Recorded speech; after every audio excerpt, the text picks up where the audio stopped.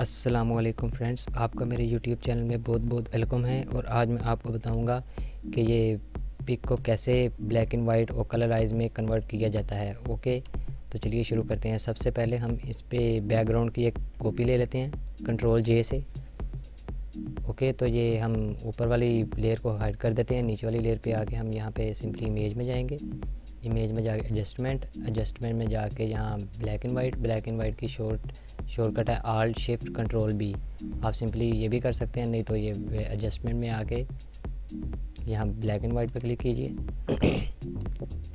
और ये जहाँ जहाँ आपको अगर आपने ये रेड स्टोन ज़्यादा करनी है तो रेड स्टोन कर लें। ये देखें, जहाँ आपको ब्लैक एंड वाइट कलर सही लगे, वहाँ तक आप इसको एडजस्ट कर सकते हैं। ओके तो मुझे इधर तक ओके लग रहा है। ओके करिए।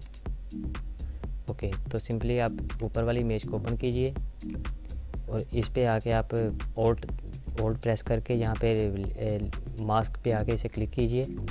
ओके ये हमारी पूरी की पूरी ब्लैक एंड वाइट हो चुकी है। अब हमने सिंपली अपना ब्रश लेना है।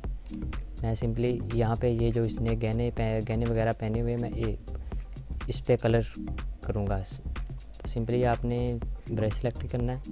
और यहाँ पे जस्ट ला के यहाँ पर आपने फेरते जाना है जहाँ जहाँ आपको कलर चाहिए इमेज में। ओके तो मैं अपनी वीडियो ज़रा फास्ट कर रहा हूँ, मुझे यहाँ पे काफ़ी टाइम लग सकता है।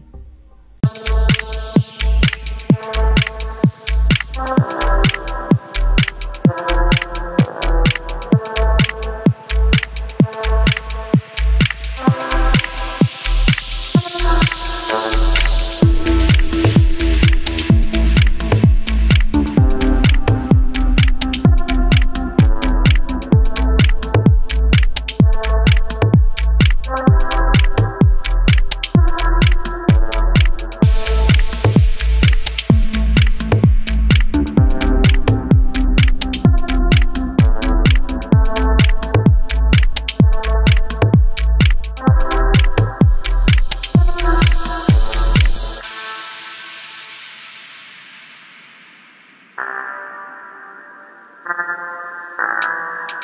you.